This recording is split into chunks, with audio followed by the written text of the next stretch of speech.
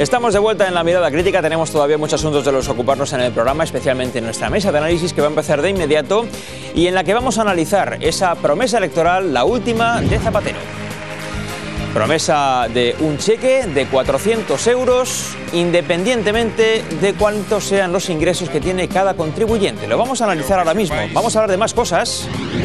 La meta es crear 2.200.000 puestos de trabajo en la próxima legislatura. Por ejemplo, de esta también promesa, en este caso de Mariano Rajoy, el PSOE había ofrecido 2 millones de puestos de trabajo, Rajoy sube la apuesta, 2.200.000.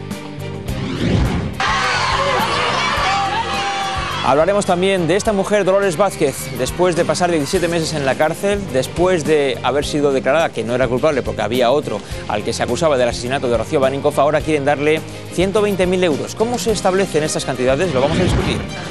Y hablaremos también de recetas de cocina contra el dolor de cabeza. No siempre hace falta tomarse una medicina, quizá eligiendo bien los alimentos podamos evitar determinados problemas.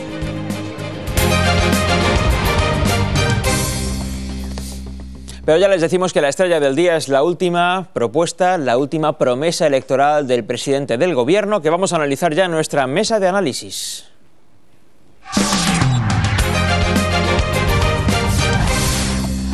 Mesa de análisis hoy con Juan Carlos Viloria, buenos días. Buenos días. Margarita Sáez Hola, buenos Vicente. días. Javier Martínez Fernández Arribas, buenos días. Buenos Gracias días. a todos por estar en la mirada crítica. Dentro de un instante vamos a hablar de vuestros 400 euros, eso es que el presidente del gobierno promete devolverlos si ganan las elecciones. Pero antes nos vamos a ir hasta un lugar